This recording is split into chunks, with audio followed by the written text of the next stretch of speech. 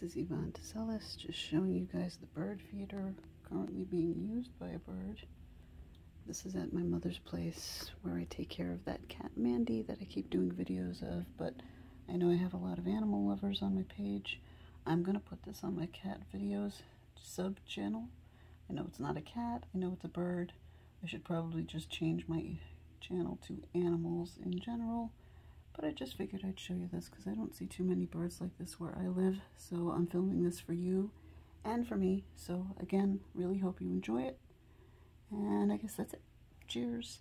As always, thank you for your time coming to my channel. Please check out other videos, subscribe if you wish, and hit like if you want to. Cheers.